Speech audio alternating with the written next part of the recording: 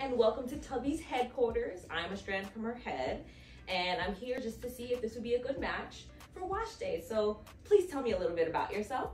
Okay, so we are Donna's Recipe, and we started off with hair oil, and we started off with biotin gummies, and this is all brought to you by Tabitha Brown and co-founder Gina, and have brought Tabitha Brown.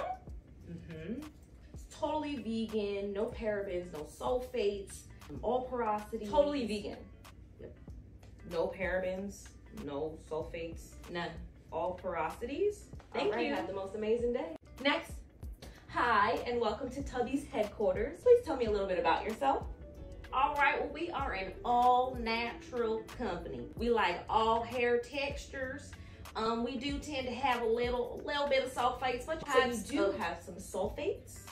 Yes, ma'am, we have some sulfates and a few parabens. We love the high porosity gals. No offense to the other types of porosity, however, that's just the way we roll. And we just Thank you so much for your time. Unfortunately, we're looking for a product that has no sulfates, no parabens, preferably vegan. From what I hear, your product isn't color safe. So thank you so much for your time. thank you for having me. Bye. Scalp, Yes. scalp. Yes. Get Ulta on the phone.